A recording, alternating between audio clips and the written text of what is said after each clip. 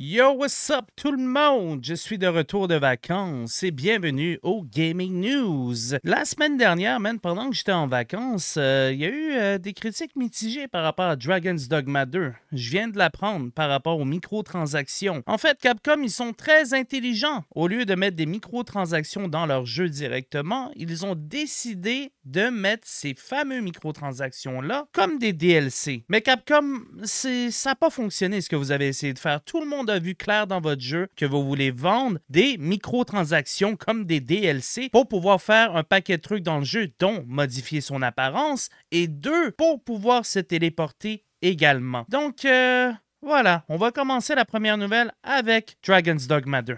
Let's go. Une autre preuve que les gamers ne veulent rien savoir des microtransactions dans les jeux vidéo, bien en voici la preuve avec Dragon's Dogma 2. Pendant que j'étais en train de boire mes margaritas relax à la plage, j'ai vu les critiques tomber sur le jeu et les fans qui étaient très mitigés face aux microtransactions. Beaucoup disent que ça n'impacte aucunement le jeu en soi ni la façon de jouer, mais plein de gens ont pris d'assaut Steam en faisant de très mauvaises critiques et maintenant le jeu tourne autour des 56% des critiques positives auprès d'environ 50 000 joueurs. Comme je viens tout juste de revenir de vacances, je me prépare tranquillement à entamer ma critique sur le jeu, mais une chose que je dois dire sur Capcom, c'est que les développeurs avaient osé dire avant la sortie du jeu que les déplacements rapides d'une zone à une autre étaient nuls dans les jeux à monde ouvert, mais ils nous avaient pas dit cependant qu'ils allaient mettre un truc payant pour avoir accès à cette fonctionnalité. Déjà que le jeu coûte extrêmement cher en dollars canadiens, tournant autour des 95 dollars plus taxes, dont on parle d'un jeu à 110 dollars au total. Les microtransactions pour moi sont acceptables dans les jeux free-to-play, surtout pour les cosmétiques, mais quand vous commencez à les implémenter pour des jeux solo, c'est là que je commence à rager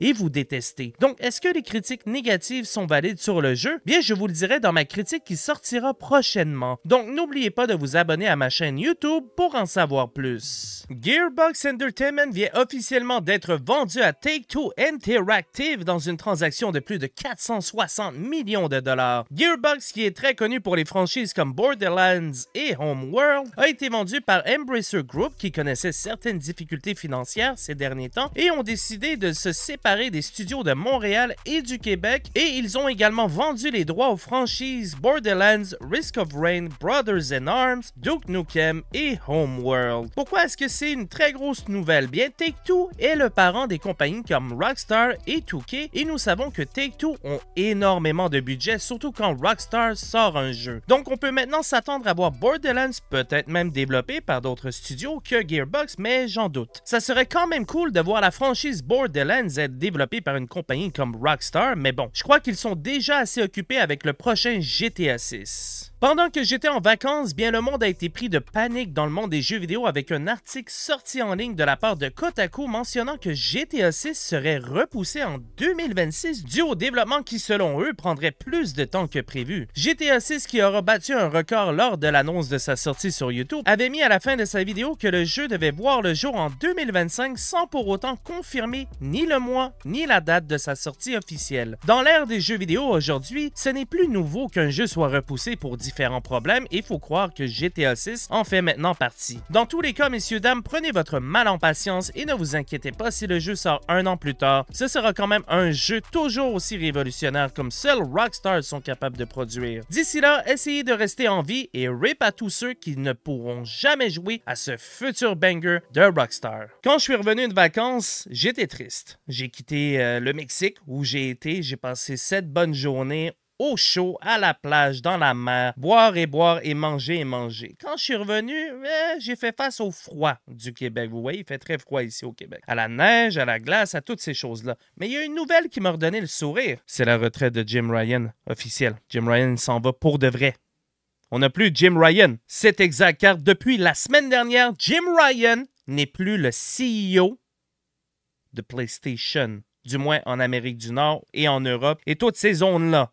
Donc, messieurs, dames, c'est une grande nouvelle qu'il faut célébrer. Mais vous savez comment PlayStation a décidé de la célébrer? En sortant un Bubblehead de Jim Ryan. Est-ce que vous avez déjà voulu avoir un Bubblehead de Jim Ryan? Ben, vous le pouvez maintenant.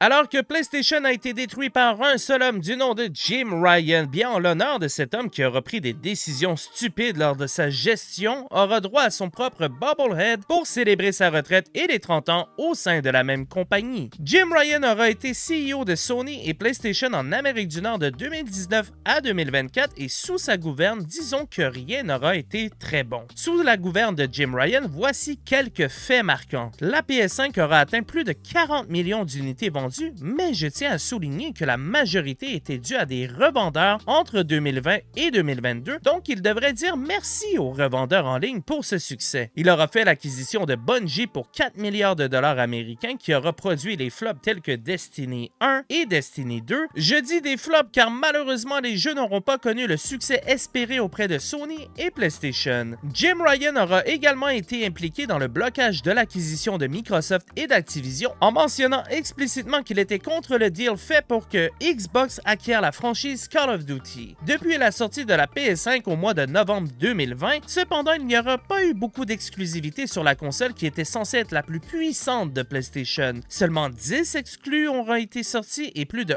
11 jeux remasterisés et remake. En plus de ça, n'oubliez pas que le grand CEO de Sony est sorti publiquement en 2024 annonçant qu'aucune nouvelle exclue ne sortira sur la PS5 et ce jusqu'au mois d'avril 2025. Rien n'aura fonctionné comme Jim Ryan aura voulu, mais voilà, vous pouvez acheter son Bubblehead et regarder sa grosse tête sourire pour tout l'argent que vous avez dépensé pour une console qui, pour ma part, s'est transformée en aspirateur à poussière. Au revoir Jim Ryan et au nom de tous les gamers et fans de PlayStation, tu aurais dû rester comme simple employé et non CEO de PlayStation. Bye bye Jim. Et voilà messieurs dames, c'était tout pour les gaming news cette semaine. Je sais, il n'y en a pas eu beaucoup. Je viens de revenir. Donnez-moi le temps. En ce moment, je travaille sur ma critique pour Dragon's Dogma 2 et j'ai beaucoup de choses à dire par rapport au jeu. Des choses bien et des choses euh, mal, négatives également. Donc, messieurs, dames, merci d'avoir regardé les Gaming News. Si vous voulez regarder d'autres contenus sur la chaîne, il y a plein de choses ici. On fait des Gaming News critiques et top 10. Et messieurs, dames, on se revoit dans une prochaine vidéo. Prenez